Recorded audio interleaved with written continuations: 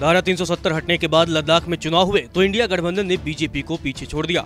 लद्दाख परिषदीय चुनाव के 26 सीटों के लिए चुनाव हुए, जिसमें कांग्रेस और नेशनल कॉन्फ्रेंस ने बीजेपी को पीछे छोड़ दिया है। 22 सीटों पर आए, चुनाव परिणाम में कांग्रेस ने आठ और नेशनल कॉन्फ्रेंस ने 11 सीटों पर जीत हासिल की है। वहीं बीजेपी को दो और निर्दलीय उम्मीदवार को एक सीट पर जीत मिली है।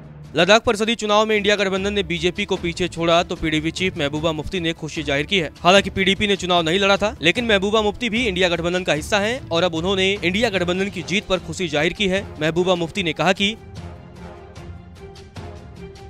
नेशनल कॉन्फ्रेंस और कांग्रेस जैसी धर्मनिरपेक्ष पार्टियों को कारगिल में जीत दर्ज करते देखकर खुशी हुई। गौरतलब है कि पिछले महीने की शुरुआत में लद्दाख प्रशासन ने सुप्रीम कोर्ट के निर्देश के बाद कारगिल क्षेत्र में पाँचवें एल के चुनावों के लिए नए कार्यक्रम की घोषणा की थी। यह अधिसूचना तब आई जब सुप्रीम कोर्ट ने आगामी चुनाव के लिए नेशनल कॉन्फ्रेंस के पार्टी चिन्ह को बहाल करते हुए केंद्र शासित प्रदेश प्रशासन की पिछली चुनाव अधिसूचना को भी रद्द कर दिया, क्योंकि नेशनल कॉन्फ्रेंस के उम्मीदवार नामांकन दाखिल करने में सक्षम नहीं थे। अधिसूचना के अनुसार एल की 26 सीटों के लिए 4 अक्टूबर को चुनाव हुए थे। मौजूदा परिषद की अध्यक्षता नेशनल कॉन्फ्रेंस के फिरोज अहमद खान कर रहे हैं। कांग्रेस ने चुनाव से पहले नेशनल कॉन्फ्रेंस के साथ हाथ मिला लिया और 22 उम्मीदवारों को मैदान में उतारा। नेशनल कॉन्फ्रेंस ने 17 उम्मीदवार उतारे। दोनों पार्टियों ने कहा कि यह व्यवस्था उन क्षेत्रों तक सीमित है, जहाँ भाजपा के साथ कड़ा मुकाबला है।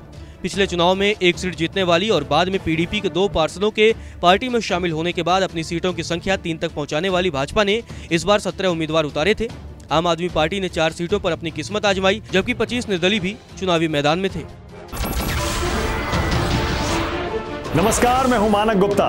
अगर आपको हमारा ये वीडियो पसंद आया हो तो इसे लाइक और शेयर ज़रूर करें। और हाँ हमें सब्सक्राइब और फॉलो करना ना भूलें, ताकि आप देश और दुनिया की कोई खबर मिस ना करें। तो जुड़े रहिए हमारे साथ और देखते रहिए न्यूज़ 24